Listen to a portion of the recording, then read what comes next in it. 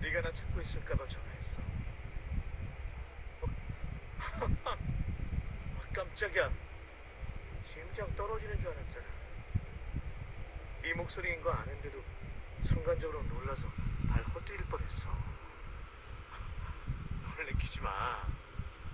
실은 아까 여기 들어오기 전에 지나온 숲에서 은망울 꽃을 봤거든. 꽃을 찾아보려고 숲길을 좀 걷고 있어. 틀림없이 행복해집니다.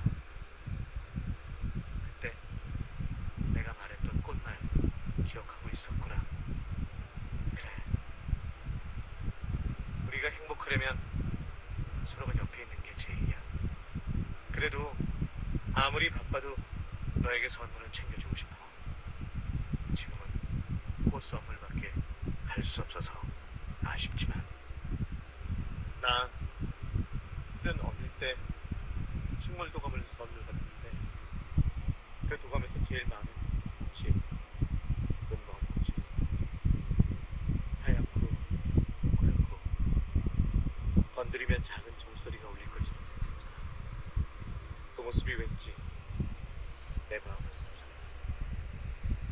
처음엔 그 모양이 예뻐서 자꾸 시선이 갔는데 나중에 꽃말을 찾아봤다가 그 꽃이 더 좋아졌어. 틀림없이 행복해집니다. 이게 현실로 이루어지면 좋겠다고 기도했어.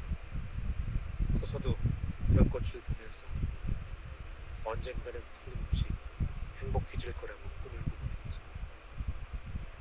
틀림없이 내가 다른 사람들처럼 세련되지 못할 수는 있지만 너를 좋아하는 진실되고는 절대 지지 않을걸. 어?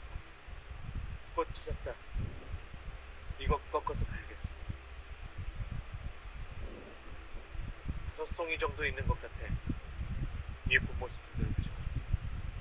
네가 좋아해주면 좋겠다. 앞으로 틀림없이 행복해질 선택을 하자. 행복한 선택이 뭔지 이제 알았어. 누구의 강요도 없이 어떤 이가 안겨준 관념이나 고정관념도 모두 지우고 내 순수한 자유 속에서 이루어지는 선택이야. 지금 난 틀림없이. 아픈 과거 속에서 사랑받은 기억이 없더라도 내 스스로가 비참하고 초라하다고 믿어왔던 나날이 한가득이어도 그래도 나는 나를 믿고 자유로워져서 선택할 거야. 널 사랑하는 고통의 안락함에서 벗어나려 그리고 환상을 거부하고 진실의 눈을 뜨기로. 네가 그래도 된다고. 내가 하고 싶은 대로 해도 된다고. 두려워하고만 있던 나에게 몇 번이고 말해줬어. 그래서 난 이제 날개를 펴나갈 거야.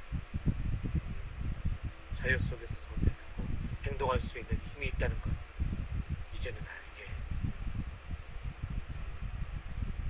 난 지금 틀림없이 행복해